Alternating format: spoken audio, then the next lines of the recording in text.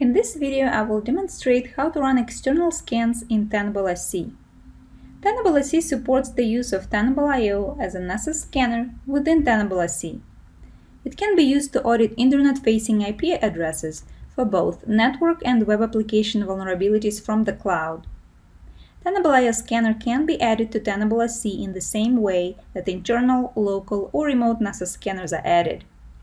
Before you begin, make sure you have an active Tenable.io subscription and you know your username and password to log in. We will need this information during our configuration steps.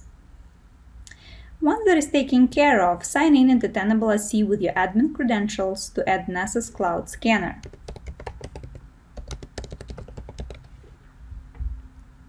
From the Resources drop-down, select Nessus Scanners. From the Nessus page, click on the Add button. Name your Nessus scanner and create the optional description. For the hostname, enter the hostname of your existing Tenable.io subscription, which is cloud.tenable.com. For the port number, enter 443, used by the cloud scanner.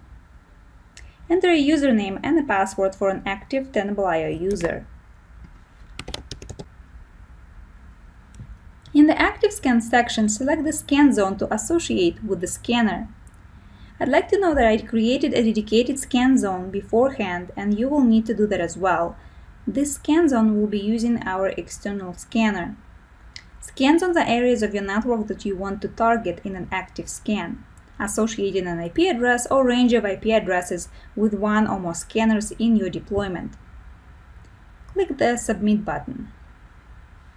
Once you add it, your Nessus scanner will appear under the Nessus scanner with the status Working. We also recommend creating repositories specifically for external scan data. I did create the dedicated repository already, but you will have to do it as well. What we just did is we made sure to add the Nessus Cloud Scanner we created a scan zone and assigned our external scanner to a scan zone. And finally, we made sure to create a dedicated repository that will store our external scan data. Now we can go ahead and sign out from the admin user account and sign back in under the security manager account to create the external scan.